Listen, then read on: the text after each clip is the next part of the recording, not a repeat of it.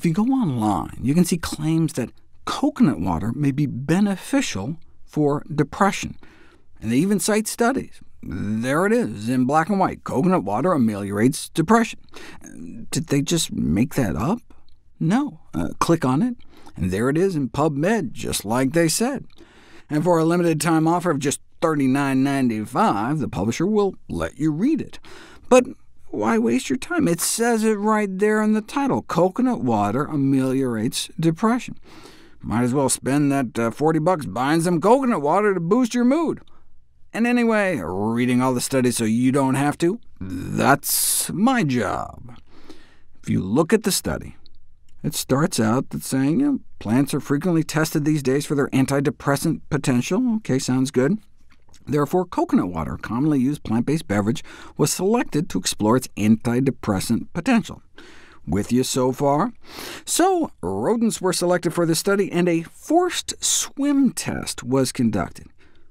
What?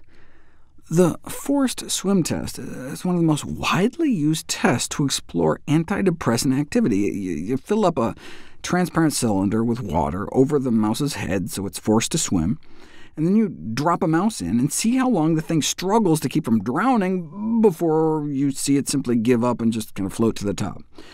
And lo and behold, you feed them some coconut water first, and they hold out a bit longer before giving up, uh, demonstrating an antidepressant effect. Therefore, we should use coconut water to treat depressive disorders in people? What? I mean, it depresses me to even read such wasted research opportunities. Where did they even get this idea? It was invented by a group of French scientists in the 70s to model behavioral despair.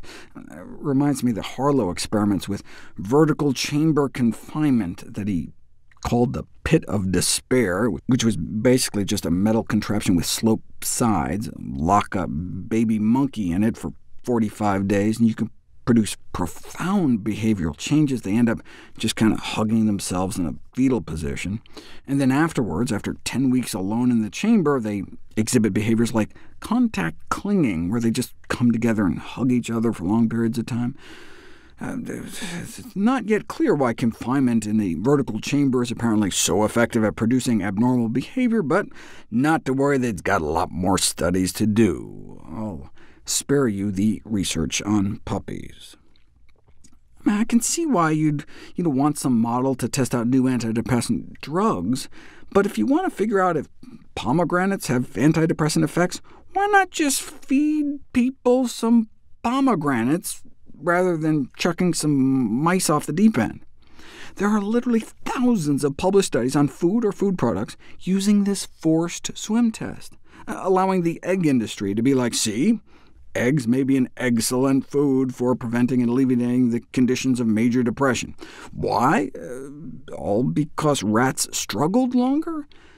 Whereas in people, removing eggs from the diet improves mood though they also removed meat, so it's not clear which did what, or maybe they were just eating more healthy plant foods like soy, which the soy industry is happy to tell you decreases depressive-related behavior in postmenopausal rats who were swimming for their lives.